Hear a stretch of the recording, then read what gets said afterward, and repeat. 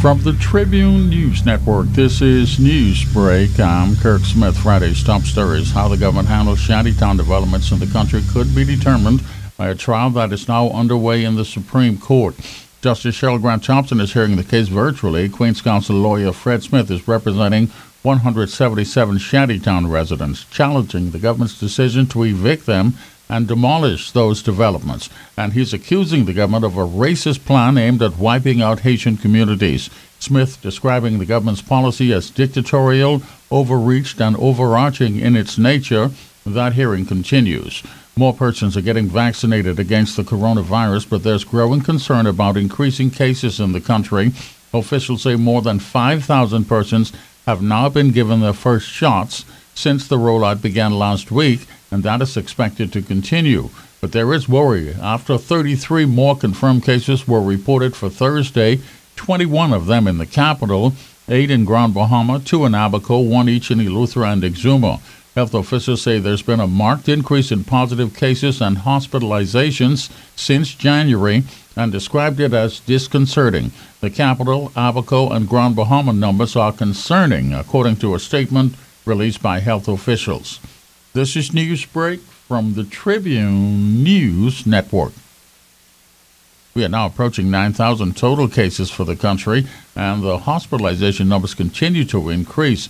31 persons now in, one of them in the ICU. 188 deaths have been reported. The Ministry of Health is again urging residents to continue to follow the recommended protocols. There is a setback. The Pan American Health Organization has confirmed that the Bahamas will not receive the expected vaccine shipment by the end of the week, as has been announced, but it says it should be in country by early next month.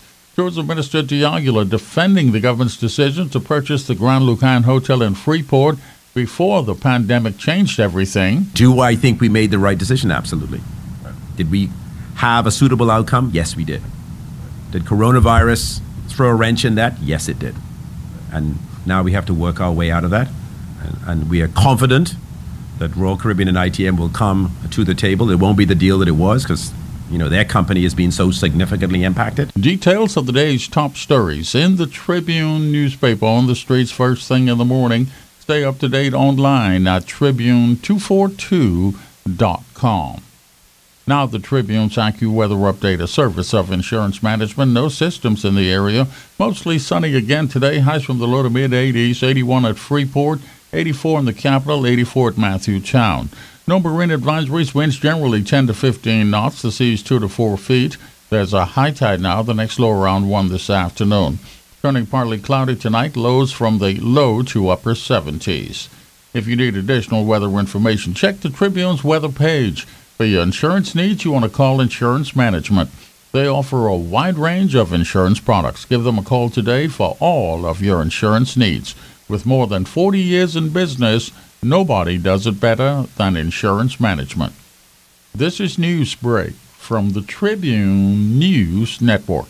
Let the Bahamas and the world know that you're open for business by advertising in the Tribune and on Tribune242.com. Reach the market that'll get your cash registers ringing by calling 502-2394 today. Our professional advertising agents are on hand to customize packages just for you, and consultations are free. Give your business the maximum exposure for an affordable investment, and let us help you increase your sales. Call 502-2394 today. We're open for business. Let the world know you are too.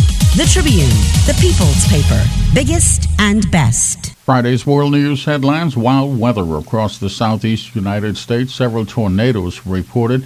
At least five persons died in the state of Alabama because of the weather. Efforts continue to free that huge container ship that is stuck in the Suez Canal, blocking it. More than 100 ships are waiting for the ship to be cleared, but so far that hasn't happened, and officials say they're not sure when it will be cleared. The European Union continues to wrestle with control of vaccines as coronavirus cases continue to surge in some countries. Hundreds of persons arrested in what was called a Freedom Day protest in Belarus. Tribune's gas tracker prices heading into the weekend. Shell 481, SO 457, Rubis $4.74 per gallon in the capital. Now your sports notes brought to you by the Tribune Sports Section. Get the latest on the school's golf championships heading into the final day of competition. Find out what Georgette Rolle Harris is up to now in golf. Get the latest report on NBA trades. Buddy Hield and the Kings win again last night in the NBA. They beat the Warriors. Hield had 14 points in that game. For all your sports details, you want to check the Tribune Sports section. Everything you need from the world of sports, you'll find in the Tribune Sports. And that's your news break. Details of the day's top stories in the Tribune newspaper on the streets first thing in the morning. Stay up to date online at Tribune242.com.